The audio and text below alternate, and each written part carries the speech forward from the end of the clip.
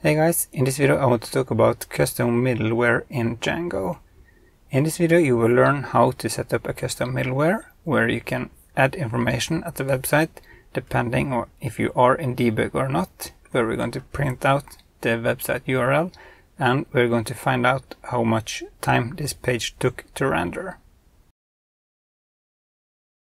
Okay, so let's begin just by checking out what Django says that the middleware is. So a middleware is a framework of hooks in the Django request and response processing.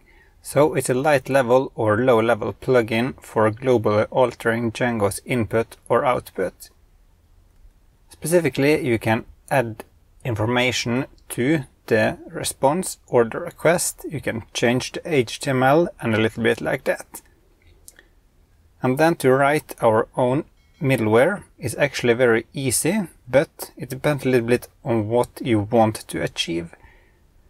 For example, you have the Django debug toolbar, which is a very advanced type of middleware, which makes it easy to have a simple debug uh, bar on the right side, which give you very much important information.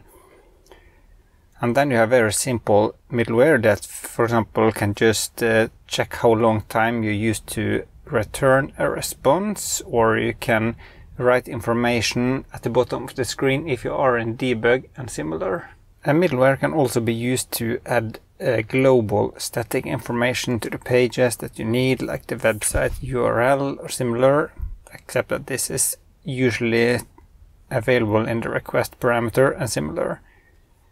But let's say that we want to create a custom middleware that prints out the website name at the bottom of the website um, when you are in debug mode. So on my computer now I have created a new app called Simple Website with nothing else than this inside. Okay, so what I want to do here now is to create an app where we have our middleware. So Python manage.py start app and then I can call this whatever I want. Maybe just Stein debug. So then I can open this in Visual Studio Code or whatever editor you want to use. So the first thing I want to do then is to just open up the settings.py file and register the app here in installed apps. So here I just say Stein debug and save. And then inside the Stein debug I want to create a file called middleware.py. And then I can begin by defining a class here. So class Stein debug middleware. And the first thing we need to do in this class is to initialize it by saying def init, pass in the self parameter and get response. And then in here we just say self.getResponse equals getResponse so that we are forwarding this into the middleware and beyond. And then every time this middleware is called, we are using this function def call, pass in self and the request parameter. And then here I just want to say response equals self.getResponse and return response. And this is just so that this doesn't stop anywhere. So if you go back to the documentation of Django, you can see that this is done here as well. So you see the response equals get response and similar, or here in the class based views like we do. So this is one-time configuration and install uh, initialization. And down here we execute this request before the view and similar. So now that that is done, we can actually go to the settings.py again and register this middleware. So the um, ordering which these uh, are executed is that when you get a, a request, it starts there and go down. Oops. So it's begin with it, two, three, four, five, six, seven. And then when you are returning something, in the request, then it starts at the bottom and go up again. So we can put our almost anywhere we want. I just like to have mine above the common middleware because that's where I used to put this. So here I can say Stein debug, which is the name of the app, and then middleware, which is the middleware file, and then just Stein debug middleware, which is this class here. So then I can save this, and if I now just go in here, and here I just a print call Stein debug so we can see in the console that this is called. So if I go to the terminal now and run the web server, if I now go to the browser and refresh, okay, name response is not defined, should be response, of course. Go back and try again. Then here we can say call Stein debug. Nice. So then we can go back to the task, which was to print the name of the website at the bottom of the screen. So we can create a view, very simple view first. So here we can say def index, pass in the request parameter, return. Um, and here we actually can't use render because this is not hooked in to the template functionality that you can use in the middleware. So here I just need to go to Google and check something if it's not mentioned here. Process view, process execution, process template response. This is the one I want to be using. And then you can see here that I need to use template response or equivalent.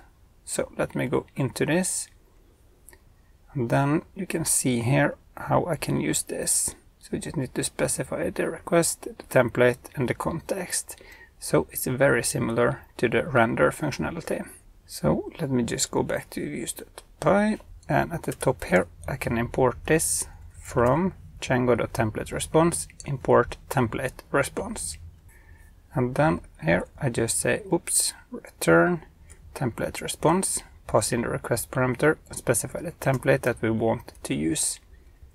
So then I can create a new folder for that template as well. So templates and the file itself index.html h1 index and save. Now we can import that view into the urls.py file from stein debug dot views import index path, empty, index, and save.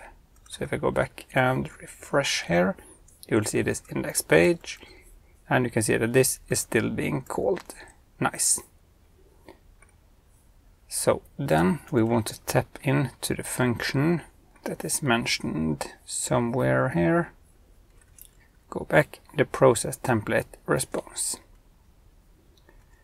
So if I just copy this function here, go back here again a def, and I also want to pass in the self, uh, self parameter since we are using a class. And then here I can just say return response and print just to make sure that this is actually being called. Go back and refresh. Yes, then you can see Stein debug there and then process template response, which is what we get here. So what we then can do is to say response, oops, specify a template name, for example, website URL equals https code with stein.com. And if I then go to the template here, I can say website URL. No, that did not work. Response website URL. I thought that should be working. That does not actually work. No, forgot to do one thing. You have to say response.context data, pass in website URL, which is just the name of this property, and then the value. So go back here and refresh and it's still not working. Okay, so I find out what the problem is and that if I go back here that is that I actually try to um, this variable or this value to a variable that really doesn't exist. So in the views.py I need to add a dictionary here. Here for example I can say title testing middleware. If I then go to index.html I can say title up here to print a title and then this website URL will come from the middleware here. Refresh. Then you can see the title there and you can also see what's coming from the middleware. Um, it might be better to set this information up here. So self.website equals, create a dictionary, URL, and then we can move this up here. And then we just say self. Dot, uh, sorry, response dot context data website equals self dot website. Then we can print the URL by saying website dot URL instead which is a little bit better because then we only assign this up here when we initialize this. And then we only want to show this information if we are on debug. As you can see here in the settings.py, this is set to true. So we can import this variable up here from django.conf import settings. And then we say if uh, settings.debug then we refer to this variable and if it's true we assign this variable down here. So now we can see that we are in debug so it's showing but if I change this to false go back and refresh. Then you can see here you must set this. Okay. Need add something in this allowed here. Just the local IP address. Run the server again, refresh, and then this is gone. If I go back and set this to true again, refresh, then we'll see that we see this. So why should we want to do something like this? If you had, a, for example, a little debug bar, div style, padding 20 pixels, background, red and color white. You are in debug. The address is, and then we show the website URL there. Then we close the div. But now this will always be showing this div here. So maybe in the middleware we could also add um, debug and then settings.debug. So we know from our middleware if we are in debug or not. So now we can say if website.debug then we show this div here. And if refresh, it's there. If I go and set this to false, then the div is gone. Nice. So then we have a way of using middleware to show information in our app based on if we are in debug or not as well. So maybe we also want to know how long time it takes before you go into a page until the template is rendering.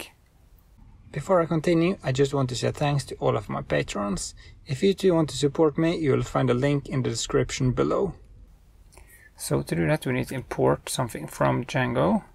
From django.utils import time zone so that we can calculate milliseconds. Then we also need one more function here called process view where I pass in or use the parameter self, request, viewfunc, viewArgs, viewKvargs. So this is then information about the request, which view we are on, the arguments for the for that view and similar. So here I can say print view func so we can just see what this is and save that, go back and refresh. If I then go here, you can see here that we are using a function at index. So this doesn't really give us any information, but it is what it is. So here I can say um, self dot oops self dot start time equals time zone dot now. So now we get the timestamp right now. Just want to set this up here as well. Um, self start time equals none, and then we override it here when we are using a view.